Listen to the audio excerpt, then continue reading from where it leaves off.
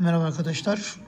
Bu videomuzda sizlere şöyle önünde görmüş olduğunuz MacBook Air eski bir cihaz. Bu cihazda şöyle bir problem var. Normalde bataryam sağlam. Bataryaya şarj aletim takılı değil şu anda. Bir kere bastığımda cihazım açılması gerekirken açılmıyor. Fan hafif çalışıp sonra kendi kendine kapanıyor ama cihaz hiçbir şekilde açılmıyor ama şöyle şarj aletini taktığımda şarj kablosunu taktığımda cihaza bir dokunmamda cihaz otomatik olarak açılmaya başlıyor.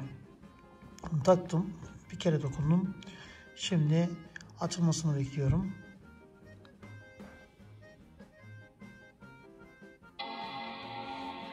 Otomatik açıldı.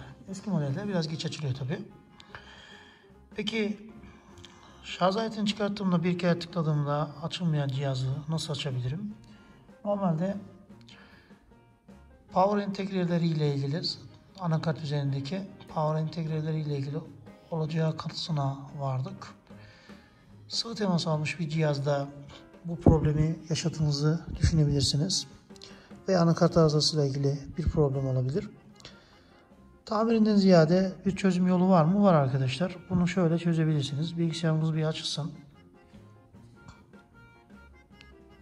Normalde şöyle bir kapatalım tekrardan.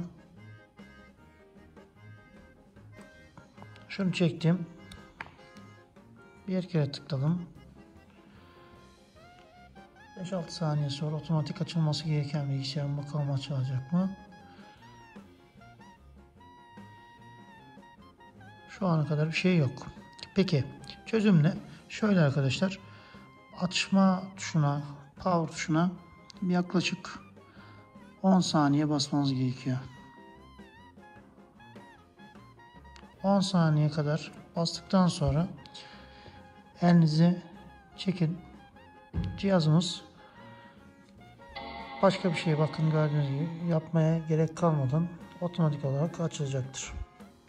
Böyle bir çözüm yöntemiyle anakart tamirat işine girmeden bataryayı değiştirmeden eğer ki bataryadansa tabi arızası sorunuzu çözebilirsiniz. Kolay gelsin.